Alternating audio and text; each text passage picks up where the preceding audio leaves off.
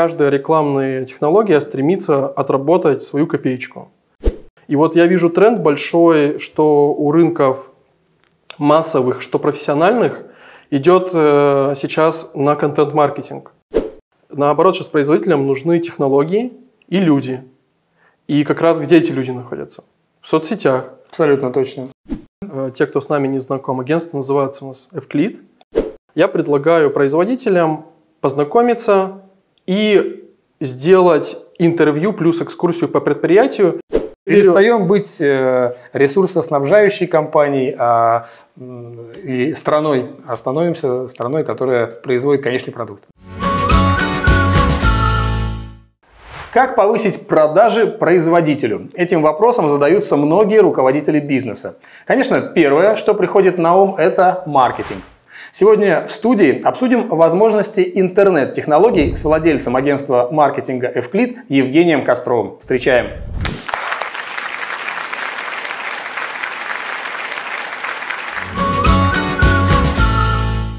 Добрый вечер! Здравствуйте. Евгений, все моложе и моложе становятся люди, которые на переднем крае прогресса, а особенно в маркетинге. Что нового, в чем, собственно, ваши компетенции, которыми вы продвигаете производителей, ну и вообще бизнес э, в интернет-среде? Ну, это молодой, наверное, потому что я побрился. Возможно. Все спрашивают, где у меня борода. Да, была раньше, я помню. Вот. Ну, технологии такие, что летом просто борода, она мешает, а зимой греет. Угу. Если говорить про технологии вообще интернет-маркетинга, да, то есть надо делить все-таки маркетинг в целом и интернет. Угу. Мы больше упор делаем на интернет. А, технологии меняются плюс-минус там каждый год, добавляется что-то новое, но принципы остаются те же самые. Вот, и мало кто что, что-то конкретно придумал. Если брать ситуацию до 2022 года, и после, то ситуация кардинально поменялась для тех, кто занимается трафиком, лидами, продажами, то есть с помощью выстраивания систем интернет-маркетинга. Почему поменялось? Потому что у нас многие площадки ушли. Да, сети запрещены да. некоторые. Да, и, соответственно, российские у нас ВКонтакте стал еще мощнее. Угу. Ребята сейчас что делают? Они объединяют под рекламным кабинетом а, ВКонтакте My Target, то есть это Одноклассники, Мой Мир, ВКонтакте, это все будет под одним, уже, по сути, не будет, угу. оно уже а, внутри одного рекламного кабинета и будет развиваться в таком ключе, что там же, кстати, Яндекс Дзен, который угу. сейчас просто Дзен. Да. Вот, все будет в одном рекламном кабинете. Очень сильно вырос Телеграм, если посмотреть аналитику сравнения 22-23 годов, очень резко пошел рост аудитории в Телеграме. Поэтому, кто еще не занимается, стоит обратить внимание на этот канал. Mm. И сейчас, в принципе, как э, тенденция рынка туда направлена, так и идет. Каждая рекламная технология стремится отработать свою копеечку. То есть э, даже те, кто занимаются брендингом, то есть формированием рынков и созданием охватов, все равно стремятся оцифровать вложенные деньги на то, чтобы понять, а сколько мы вложили, сколько заработали.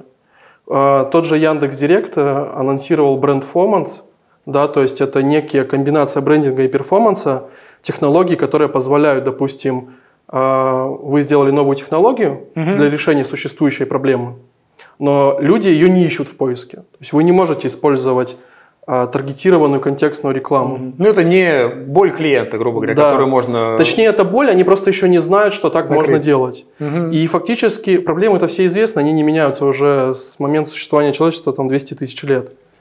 Все проблемы там плюс-минус э, боли уже есть. Меняется только способ их удовлетворения.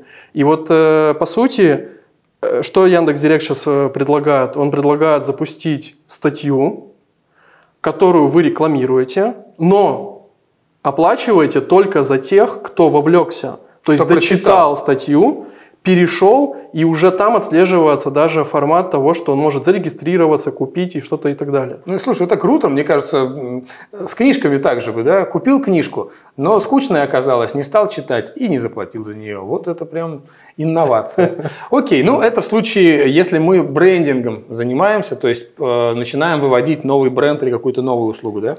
Да, фактически, например, это может, знаешь, вот э, какой кейс рассмотреть. Допустим, ваш продукт дороже, чем у конкурентов. Если мы говорим про Дзен, мы говорим всегда, или там о Яндекс.Директе, вот этом э, промо-посты, как они сейчас угу. называются, мы говорим все-таки о рынках массовых, где продукт для широкой аудитории. Там очень важно понимать, что если ваш продукт, допустим, вот кейс, дороже, чем у конкурентов, вам нужно объяснить и отстроиться, почему он дороже. Это логично. Да, то есть вам нужно использовать контент-маркетинг. И вот я вижу тренд большой, что у рынков массовых, что профессиональных, идет э, сейчас на контент-маркетинг. И что это такое? Это, по сути, когда вы не в лоб рекламируете, а создаете вокруг бренда или своего там какого-то конкретного продукта угу. контент, который вроде бы вовлекает, развлекает, обучает, что-то делает, какое-то отношение, угу. он вроде бы не продает, но при этом рекламирует. Ну, можно сказать, что это некий аналог продукт плейсмента получается, потому что, ну, как кино создали для того, чтобы его смотреть, а в этом кино интегрировано, например, там Яндекс Такси, да, и люди на нем счастливо доехали до куда-то, и в следующий раз человек заказывая, говорит, а вот я в кино видел, поеду на Яндекс Такси. Примерно так работает? В какой-то степени, да. Да. Угу. То есть вот э, смешной пример. Я вчера приехал к другу в гости, он смотрит на Ютубе э, блогера 2,5 миллиона подписчиков на Ютубе, а, который, извините, вот за подробности, он реально ездит по помойкам и копается. Угу. И людям интересно смотреть, что он там находит. Это отдельный какой-то контингент людей, видимо. Да, да, да. Мне было бы неинтересно. Нет, он находит айфоны, в а. этом дело. То есть люди удивляются, это вызывает недоумение, что люди выкидывают бренд, брендинговую одежду всякую и так далее. А, но суть не в этом. Там, допустим, Skillbox э, размещает рекламу у него, что если не хочешь копаться по помойкам, получай новую ну, профессию. Ну, противного, то есть. Да, да, да. То есть любой контент можно теперь так. Раньше говорили любой пиар, э, как бы это пиар, да, а тут получается любой контент. Да. Тоже. Главное вовлеченная аудитория и результат. Есть э, вот какие-то опыты и примеры, которые можно привести. Ну, я понял, вот этот яркий пример, да. А, если мы говорим про производителей, а, вот там, и, может, ярославских, я потому что не, э, в целом не погружен, с какими вы работаете, тем не менее, у вас какие кейсы, что называется? Ну вот если говорить про контент-маркетинг, например, э, если мы возьмем Волжанина, да, одну из крупнейших э, птицефабрик России, а, у них огромный потенциал для того, чтобы создавать любой контент, связанный с результатом того, что хотят получить их клиенты. Что хотят получить их клиенты? Это Наесться. готовый там, да, ну, классный завтрак, допустим, из яиц или еще что-то. Там есть целевая аудитория кондитеров, которые используют там яичный mm-hmm. белок и так далее. То есть сегментов много, и под каждый можно создать не рекламу напрямую, там вот наши там яйца самые крутые покупай, да, а речь идет о том, что вы можете разработать э, рецепты, красиво их там, ну как вот, да, смак тоже самая там старая да, передача. Да. Вот. И это фактически контент, в котором используется продукт placement. Да, ну я и говорю, что да. это очень э, родственная, да. родственный вариант э, рекламы какой-то, нативочки такой, может быть. Из интересного эм, есть SMM-кейсы, да, там агентств креативных именно. Здесь мы говорим больше про пользу. Есть креативное решение. Э, не подскажу по названиям, но я видел такие решения, что есть там аккаунт, допустим, в соцсети, угу. и в каждый день выкладывается фотография просто куска стали, только красиво в разрезе получается какой-то узор. И так как у нас в некоторых соцсетях есть эстеты, визуалы, которые любят наблюдать, угу. у них видят там что-то такое. То есть перевод в искусство да. обычных каких-то производственных вещей. Да. Круто, согласен, да. Это... То есть вариантов масса, и мы видим такой тренд, что если раньше производители эм, в основном те, кто работают с крупными заказами, рассматривали только выставки, да, там армия 2022 10 миллионов, все, мы на стенде, угу. а, то сейчас они смотрят в сторону и контента, и соцсетей, потому что производители сейчас закрывают потребность даже не только в рынках сбыта, как я это вижу. Сейчас угу. рынки сбыта, пожалуйста, высвобождаются целые ниши, конкуренты уходят. Наоборот, сейчас производителям нужны технологии и люди. И как раз где эти люди находятся? В соцсетях. Абсолютно точно. Соответственно, создавать что нужно людям там слесарь такого-то разряда, приходи на столько денег зарплаты? Нет. Это не вовлекает людей. Нужно разработать какое-то позиционирование HR-бренда, да, как сейчас Нужно модно показать, говорить. что быть слесарем у нас круто. Да. Соответственно, что происходит дальше? Как-то вовлекают людей, проводят мероприятия, это все выкладывается в соцсети. То есть это все стратегии направлены на то, чтобы сформировать э, отношение какое-то. Корпоративка слесарей. Ну, да. Ну, То есть, нет? вот, например, в моей голове, да, вот москвич, москвич, как автомобильный бренд, Мгм. это что-то из старого для дедушки, который на дачу едет. Такое Да. желтое, оранжевое какое-то вот такое. У меня у самого был 412 я помню, что Соответственно, если, допустим, я собираюсь покупать автомобиль, у меня там есть, там, не знаю, сколько он стоит, полтора, там, два это... миллиона. Ну да. Я такой думаю, вот круто будет, если я куплю москвич. Нет. Вот. Мне так кажется. Да. На данный момент, э, Да. судя по брендингу его, да, наверное. Что делают люди? Покупают китайцев. Ну, вот, покупают Хотя китайский де-факто москвич это тот же китаец. Да. И вот э, разные задачи решает маркетинг, но вот просто нужно понимать, что люди думают. Да? Сейчас, э, мне кажется, очень сильно качается тема ам, программистов, айтишников. Да? М, Что маркетологи это на самом деле не айтишники. Они как-то связаны с маркетинговыми технологиями.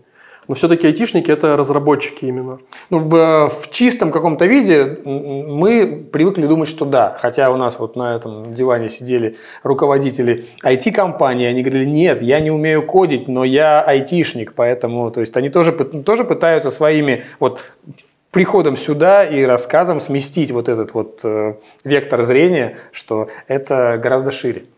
И вот э, хотел довести мысль до конца, что очень активно у нас работают э, рекламы на то, чтобы прокачать вот эту тему, типа будь свободным, независимым, уедь на удаленку, там кайфуй где-то, где солнце, а не Море. холод. Мгм. Да. То есть, естественно, этому, я думаю, что корпорации промышленные противостоят. Они клевые программы делают для школьников, для студентов. Там открытое производство у нас есть в Ярославской Мгм. области. Ну вот, поэтому, ну вот я вижу этот рынок так сейчас. Сейчас, на данный момент, вы как а, агентство, какой путь развития предлагаете, что является вот каким-то горячим предложением от вас? А, Давай немного об агентстве расскажу. А, Те, кто с нами не знаком, агентство называется у нас Evclid. Да. Мы, Основатель геометрии был такой да, в Древней Греции. Ну, вообще, с названием это отдельная история. Такое небольшое пояснение. У нас раньше название было вообще «Зарядка». Зарядка. Мы как-то сидели и думали, как нам называться в 2014 году. Это вот год основания. Мгм. И я открыл просто и написал, какое самое популярное слово. И оказалось, что первое слово «блин», а второе слово «зарядка». В русском языке. Я такой, ну ладно, зарядка, значит, будет. Но потом оказалось, что зарядка запатентовано имя, М. и его нельзя использовать. Это нам вот как раз подсказали юристы. И мы наняли нейминговое агентство, которое подобрало 20 вариантов. И оказалось, что вот ЕВ, Евгений, да, Мгм. К, Костров, и ЛИД, это ЛИД, это потенциальный клиент. Ну да. F-клид получилось. Мне очень понравилось, мы нашли домен там, двухбуквенный причем Мгм. зарегистрировали. И вот э, про агентство, да, то есть получилось так, что первые наши клиенты это были производители. Э, это были рыбинские производители, ярославские. То есть, например, нам удалось поработать за ОНИР, а это инструментальное производство. Немного поработали там с Волжанином, немного поработали с э, русской механикой, поработали с мебельными фабриками. Э, В Ярославской области, поработ- в Ярославле, точнее, поработали с русские окраски индустриальное производство. Вот. Ну, то есть И- все по производству. Да, и то есть, ну, опыт был в разных сферах, но производство оказалось больше. И так получилось, что потом мы начали знакомиться с производителями по России. Мы удалось поработать с Химтрастом в Нижнекамске, там РПК с Ростовом-на-Дону, и, и по списку там пошло. Москва, другие города. И мы, когда думали о том, как развивать агентство дальше, нам понравилась стратегия нишевания, чтобы специализироваться на определенной отрасли. Мгм. А, А, Чем, то есть даже отрасли производства какой-то конкретной? э, Или нет, отрасль именно, не вот именно, производством? именно, да, производство, Мгм. но она, конечно, подразделяется. Да, есть химические производства, есть там Конечно. и Пищевые есть, да, и так далее. Да, это разные уже подотрасли. Но Э, вот сам факт, что с производителями у нас больше всего экспертизы, мы за это зацепились и решили вот так отстроиться. Почему? Потому что в России больше 10 тысяч агентств, которые так или иначе связаны с разработкой, интернет-маркетингом, какими-то такими вот услугами. Угу. И они для заказчика, особенно который не обладает внутри себя культурой потребления этих услуг, они ничем не отличимы. То есть как их можно выбрать? Это либо, По названию. Там, либо рейтинг, репутация, да. отзывы, отзывы, рекомендации, то есть такой называемый сарафан плюс вот какая-то медийность, где работает пиар фактически. Либо просто э, способом заплатил деньги, посмотрел. Да, э, вот. try and buy. Да. Соответственно, э, понимая, что на всех рынках тоже нельзя быть экспертом, а мне нравится идея в том, что если профильный специалист, даже разработчик, поработал с банком, ему, следующему банку, уже не надо будет объяснять, как эта сфера работы. Ну, естественно, он уже э, легче до него доносит свои, он говорит на его языке, можно да. так сказать. То есть у него есть не, некое знание уже о бизнесе и о сфере. И mm-hmm. также и у нас, когда к нам приходит производитель, для него бонус, что мы уже погружены в рынок, например, B2B, то есть когда у них рынки не конечных клиентов, а заказывают другие бизнесы. Mm-hmm.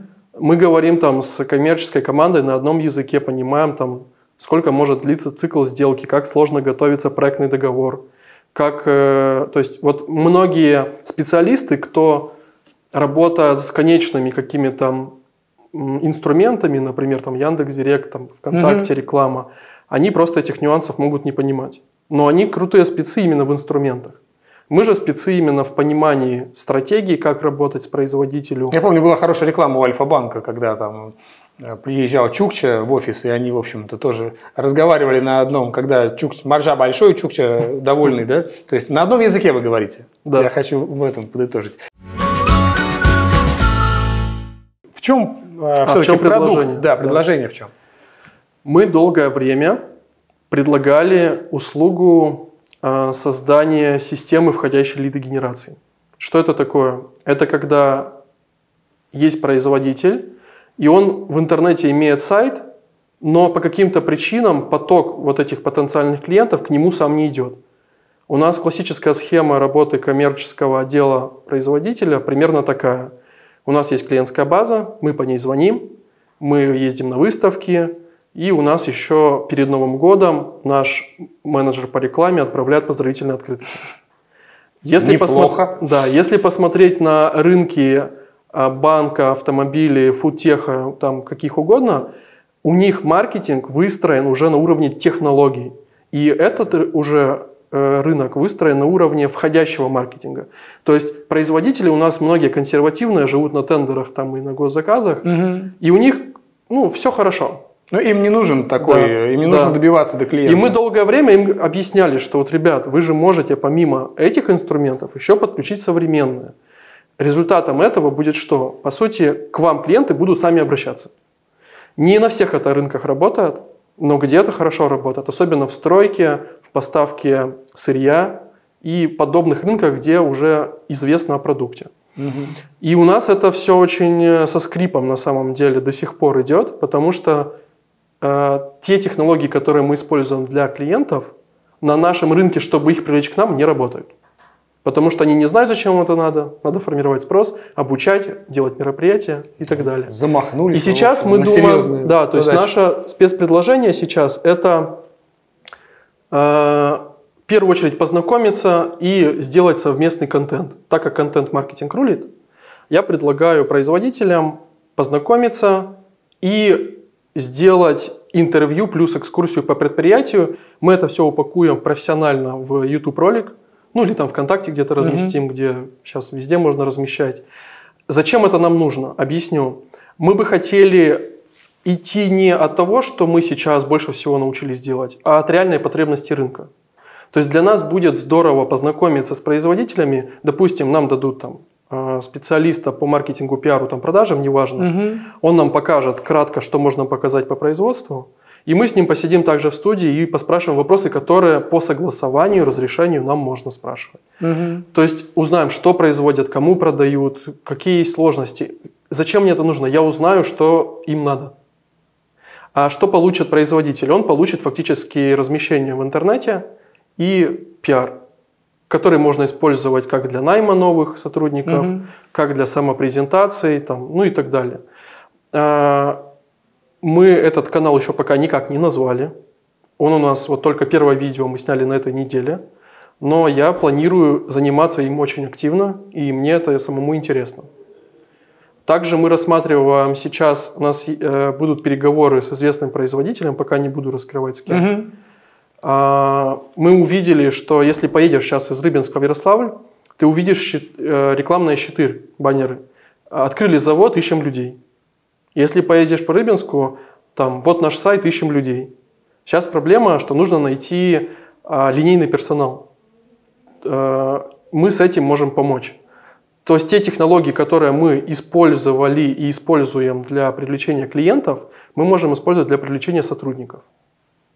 То есть так называемая, как сейчас это кадровая лидогенерация, Мгм. сейчас вы, выругаюсь на своем. Это нормально. Да, то Мне есть кажется, уже многие это- понимают, о чем. То есть мы сейчас не агентство HR-маркетинга, мы не готовы разрабатывать какую-то масштабную HR-стратегию, мы в этом не профессионалы.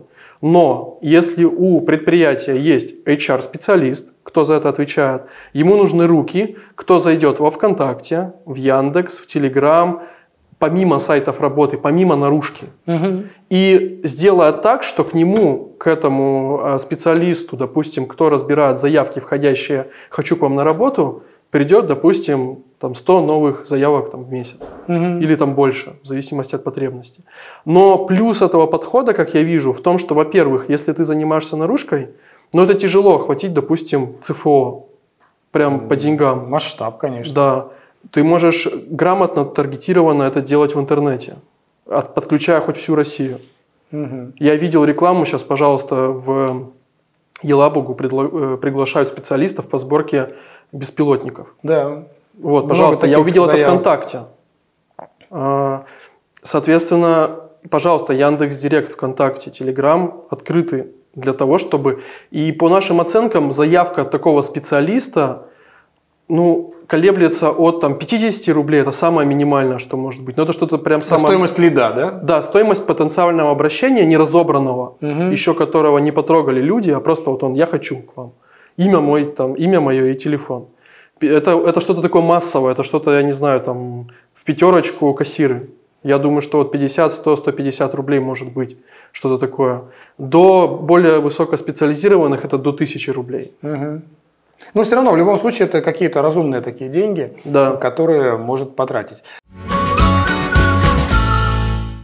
А, В принципе, мне кажется, информации для производителей достаточно э, направления э, вовлечения да, и упаковки их в контент, да, направление рассказа об их э, конкурентных преимуществах и услугах, и, я так понимаю, еще и HR э, некое ответвление, где вы можете э, HR-лиды, как правильно? Ну, вот устоявшееся название, которое я вижу сейчас, это кадровая лидогенерация. Кадровая лидогенерация. Да. Она тоже возможна, так что если есть э, потребность, Да. то, пожалуйста, к Евгению Кострову. Да, то есть мы разрабатываем стратегию, разрабатываем сайты и все делаем, все, что связано с трафиком, заявками, там, CRM, пожалуйста, все, что связано с продажами. То есть, э, кстати, хотел еще вот такую штуку рассказать, почему мне нравится думать э, об агентстве как о нишевом агентстве для производителей.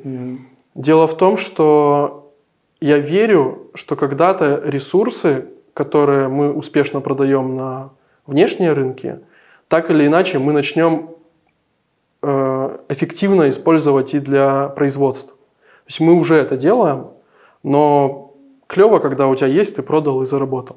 Гораздо сложнее из дерева сделать что-то, постараться там, что-то типа Икей. Легче там срубить лес и продать его. Мгм. Ну, Вот, то есть поэтому я верю- перестаем быть э, ресурсоснабжающей компанией а, и страной, а становимся страной, которая производит конечный продукт. Да, круто, что у нас есть эти ресурсы. Я верю, что настанет время производителей России, когда они не только будут талантливые инженеры, которые, слава богу, у нас есть, угу. там математики, физики и так далее, и слава богу, что они остаются с нами, но к ним, вот к этим гениям добавится еще такой Стив Джобс, да, э, то есть есть там возняк условно, который там придумал компьютера Apple, и вот добавили гения маркетинга, который смог понять, а как это вот людям нужно и как им это преподнести. Скоро, друзья мои, ждите российский iPhone от Евгения Кострова. Если вам интересно посотрудничать с нами по любым вопросам, пишите мне, и мы с вами договоримся, создадим клевый контент вместе, который будет интересен аудитории, а также по всем вопросам аудит, консультация, услуги обращайтесь. Мы всегда рады новым знакомствам с производителями. Спасибо.